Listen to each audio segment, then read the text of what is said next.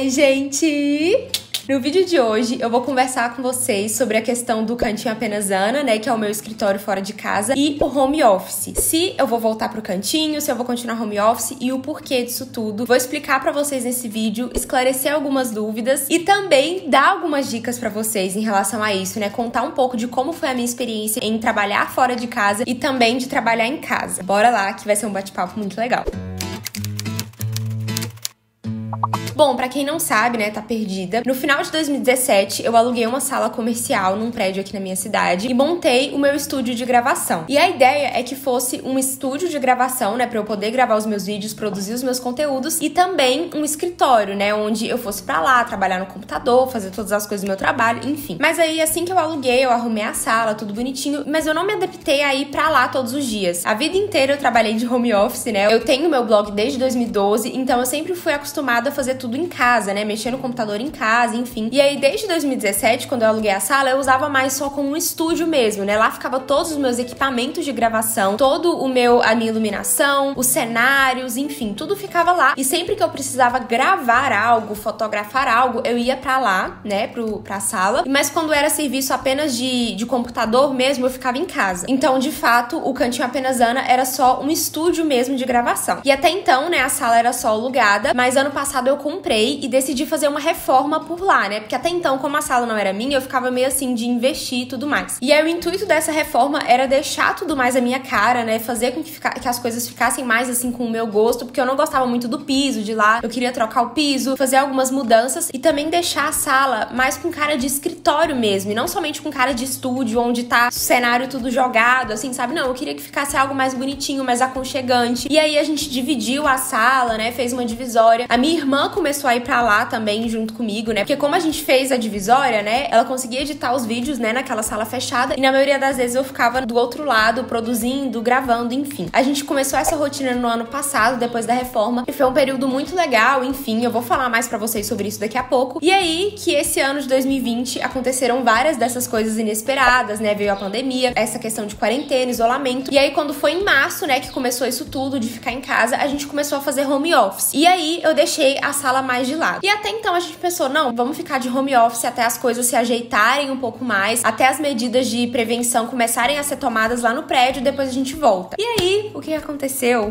A gente se adaptou bem demais ao home office. Eu não sei o que aconteceu, assim, como eu trouxe todos os meus equipamentos de gravação para casa, eu comecei a gravar aqui, minha irmã, né, trouxe o computador de volta para cá. A gente foi se adaptando, eu reduzi os meus equipamentos de gravação sem diminuir a qualidade, então ficou tudo mais prático. E a gente começou a amar o home office. Assim, a gente conseguiu organizar tudo de um jeito que nunca tinha ficado tão bom antes, sabe? Então, por isso a gente se adaptou tanto. E acabou que a gente tá de home office até hoje e vamos continuar. Era isso que eu queria compartilhar com vocês aqui nesse vídeo. Como que fala? Não sei como se diz, né? Eu vou encerrar, né, essa fase do cantinho de ter um escritório fora de casa por aqui. Eu quero dizer que foi uma fase muito, muito boa. Eu cresci, aprendi muito, né, com isso de trabalhar fora de casa. E a partir de agora eu vou falar um pouquinho com vocês sobre isso, as vantagens e as desvantagens do home office e as vantagens e as desvantagens de ter um escritório fora de casa e como foi toda essa minha experiência com o Cantinho Apenas Ana. Então vamos lá, vou começar com as vantagens do home office para mim. A primeira coisa é que eu ganho muito tempo. Então eu acordo e eu já estou, né, aqui ah, na minha casa, que é o meu escritório. Então eu não perco tempo precisando me deslocar da minha casa para um outro local, né, para um prédio, enfim. Outra vantagem, e para mim essa é incrível, é que tá tudo na palma da minha mão. Então aqui eu tenho todos os meus looks todas as minhas maquiagens, todos os meus produtos de cabelo, todo o meu material de gravação tá aqui na minha casa, né? E lá no cantinho eu sempre tinha que ficar levando, né? Tá, beleza, eu poderia colocar um monte de roupa lá, mas seria impossível colocar todas as minhas roupas lá, porque eu moro aqui, eu preciso das minhas roupas na minha casa, entende? E, e eu trabalho muito com isso de produção, né? De, de montar look, enfim. Então, ter tudo aqui na minha casa é perfeito, porque sei lá, tô gravando, aí de repente eu quero trocar de blusa, meu guarda-roupa tá aqui, entendeu? Quero um produto de cabelo, tá aqui, é só ir lá buscar. Enfim, então isso para mim é, é um ponto muito, muito positivo, tá tudo aqui na palma da minha mão.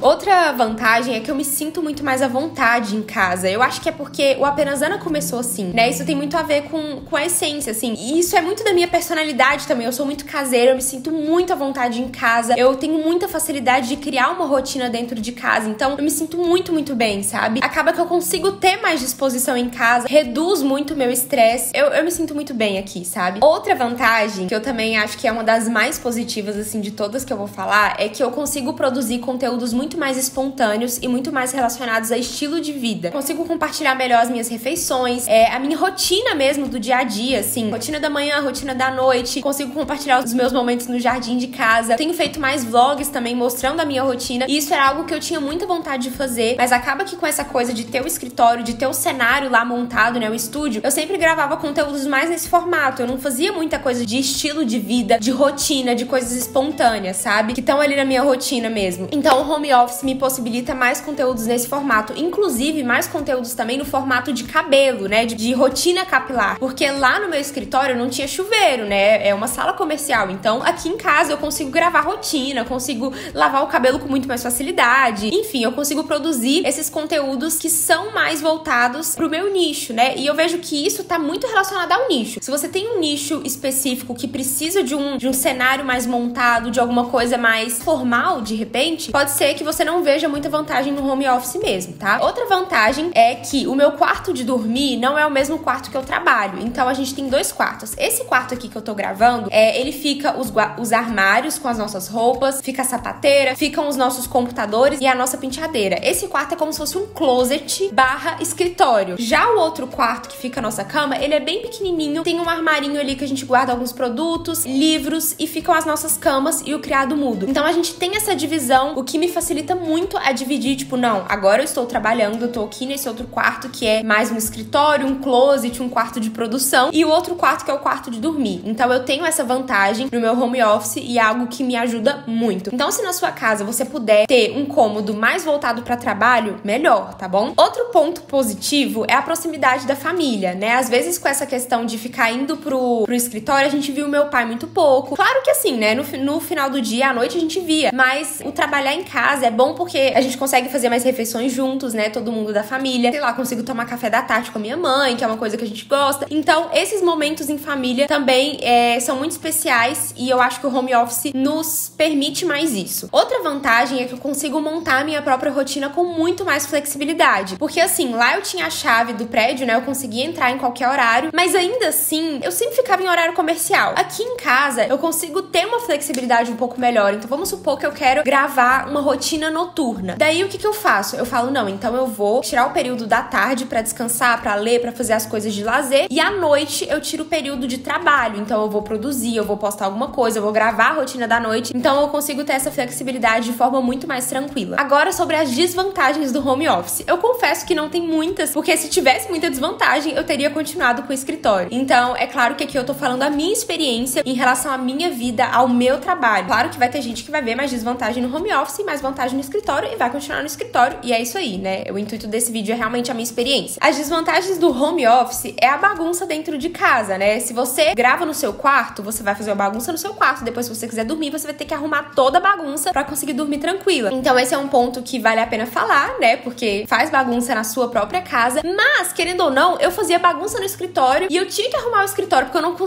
sair do escritório com ele bagunçado. Então, eu fazia bagunça do mesmo jeito, tinha que arrumar do mesmo jeito. Na verdade, eu não vi muita diferença nisso, sabe? Enfim, uma desvantagem do home office é não ter um local para reunião. Então, vamos supor que eu tô aqui em casa e preciso fazer uma reunião com uma pessoa daqui da minha cidade pra gente discutir alguma coisa de trabalho, enfim. Às vezes não rola de você convidar a pessoa para sua casa, porque de repente é uma pessoa que você não tem muita intimidade, é uma pessoa que você não conhece, então daí você tem que marcar uma reunião fora. Eu tendo o escritório, né, a sala comercial, eu tenho esse local para fazer a reunião com a pessoa ali sem problemas, sabe? Eu já tenho o local pronto. Outra desvantagem também que muita gente fala, mas que para mim não é exatamente um problema, mas vamos lá, é a falta de foco. Muita gente não tem foco trabalhando em casa, muita gente tem muita dificuldade, né? Falar, ai, mas a minha casa tenho muita distração, eu quero abrir a geladeira, eu quero deitar no sofá, eu quero deitar na cama. Sobre essa desvantagem, eu só quis falar aqui pra ressaltar, né, que pode ser que você aí que vai começar com home office tenha essa dificuldade, mas é uma dificuldade que eu não tenho, gente. Eu acho que por eu ter começado em casa, né, lá desde 2012, enfim, tudo isso se tornou muito fácil para mim. Então eu sei muito bem qual é a hora de trabalhar. Na verdade, eu tenho dificuldade em saber qual é a hora de parar. Essa é uma desvantagem. Na verdade, essa é a desvantagem que eu não tinha colocado aqui. eu tenho dificuldade de saber a hora de parar, mas do ano passado para cá eu venho eu venho trabalhando isso. Então assim, pode ser que você encontre alguma dessas duas desvantagens no home office. Ou você não vai saber a hora de trabalhar, você vai querer ficar deitando no sofá, vai querer abrir a geladeira, fazer outras coisas, ou você não vai saber a hora de parar. Você vai querer só trabalhar e quando você vê, tá na hora de você dormir, tá na hora de você fazer outra coisa e você ainda tá lá trabalhando. Uma desvantagem do home office também, às vezes, é o barulho, né? Se você mora com muita gente, tem muito movimento na rua que você mora, enfim, pode ser que você sofra com isso. Aqui em casa, um barulho que sempre aparece nos vídeos são os passarinhos. E por muito tempo eu me incomodava com isso. Mas hoje em dia eu não ligo mais. Eu acho que algumas de vocês até gostam do fundo de passarinho, enfim, então eu, eu meio que desencanei com isso. E assim, vez ou outra tem um barulho, alguém cortando grama na rua, uma reforma, mas também é muito pouco. Aqui onde eu moro é um local bem tranquilo. A minha casa não é muito barulhenta, então é algo que também é tranquilo. Agora vamos para as vantagens e desvantagens do escritório fora. Ah, só esclarecendo uma dúvida que muitas de vocês podem ter, é se eu vou ter um espaço na minha casa quando eu casar. E provavelmente sim, tá? Provavelmente eu vou arrumar um cantinho, tipo eu tô tendo aqui na minha casa mesmo, né, na casa dos meus pais, enfim. Provavelmente eu vou montar um cantinho para eu gravar, para eu mexer no computador,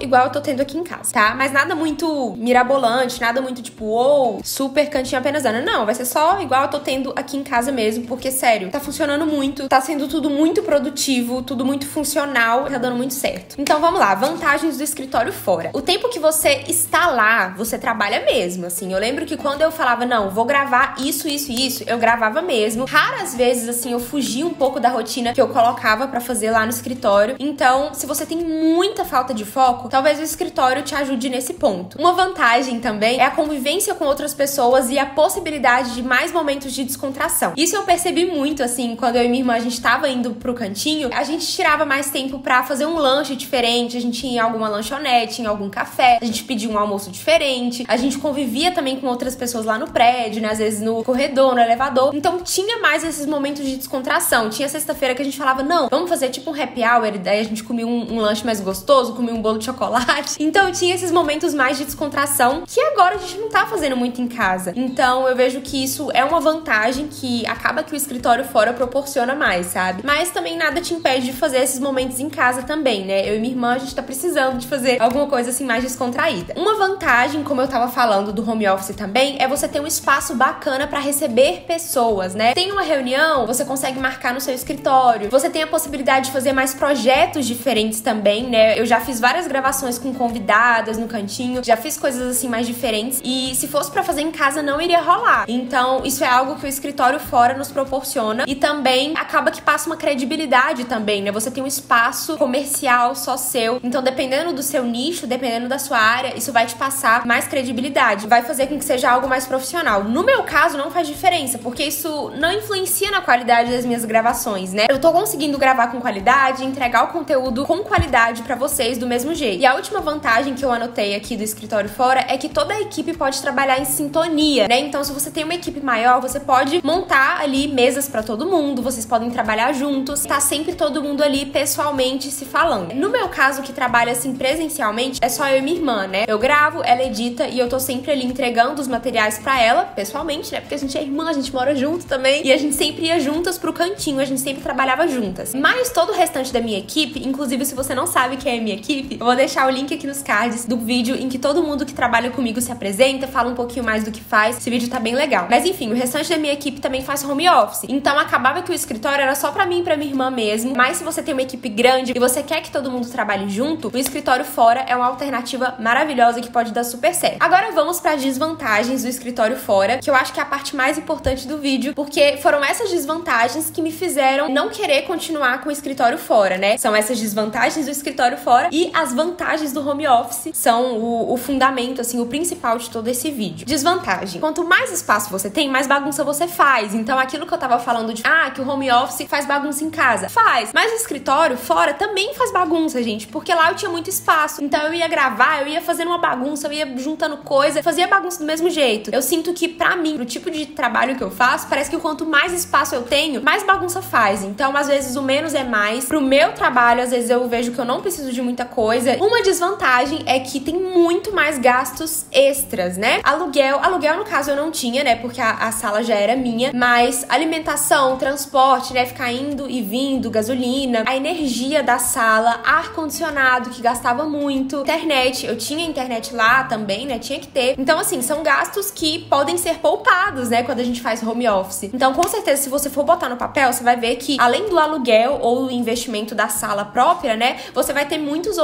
gastos também. E aí você tem que botar na balança, tá bom? Outra desvantagem que eu acho que é a principal é que a gente perdia muito tempo. A nossa produtividade lá não era tão boa. Vamos supor, minha irmã acorda, né, faz exercício físico, toma um banho e puf, partiu o computador. No home office, né? Quando era escritório fora, a gente acordava, às vezes fazia o exercício, aí tomava banho, arrumava, arrumava a bolsa, separava o que que tinha que levar, não sei o que, entrava no carro, ia, taranã, chegava no, no prédio, subia elevador, entrava na sala, até você chegar na sala, até você ligar o computador, até você se habituar com o ambiente e começar a concentrar para trabalhar, é muito tempo. E às vezes falando assim parece pouca coisa, mas na prática, gente, faz muita diferença. Então, às vezes, 30 minutos, uma hora que a gente perde no nosso trabalho faz muita diferença. Então, às vezes, essa deslocação pro escritório fazia a gente perder muito tempo e no final das contas, a gente ficava muito cansada. Que esse é uma outra desvantagem que eu queria falar também. Acabou que tava me sugando muito. Eu tava ficando mais cansada do que o normal, né? A rotina tava sendo bem puxada. Claro que assim, dá para adaptar, não é nada demais, tipo, nossa. Não, é algo normal, né? Trabalhar cansa mesmo. Mas é no sentido de que tava sendo um pouco mais do que poderia ser, sabe? Não tava encaixando tão bem em algumas coisas e acabava que a gente não conseguia ter tanta produtividade assim. Mas como eu falei, isso é em relação ao nosso trabalho, né? Porque dependendo do seu serviço, você vai ter muito mais produtividade fora mesmo. E agora a última desvantagem, que é até engraçada, mas que assim, não tem como não falar porque é uma realidade. Eu esquecia muito as coisas aqui em casa. Então, às vezes eu ia gravar um vídeo de look. Aí eu montava todos os looks aqui, separava, colocava numa mala, levava para lá e quando eu montava o look, eu percebia que eu tinha esquecido o sapato do look 3, por exemplo. Nossa, e agora? Não tem jeito. Aí eu inventava, colocava outro sapato, ou tinha que ligar para um mototáxi para entregar. Eu esquecia muito as coisas, gente.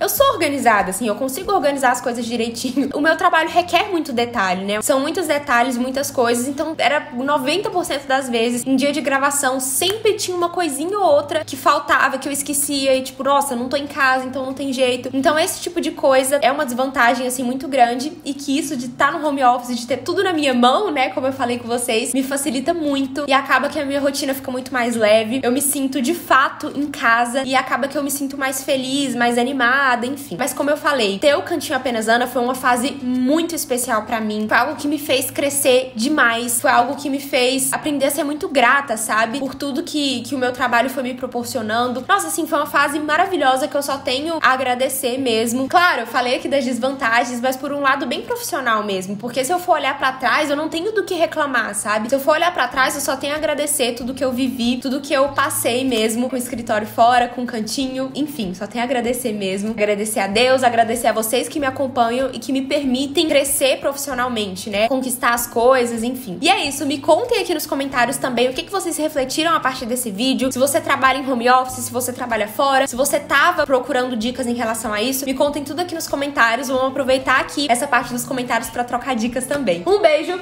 fiquem com Deus e até a próxima. Tchau!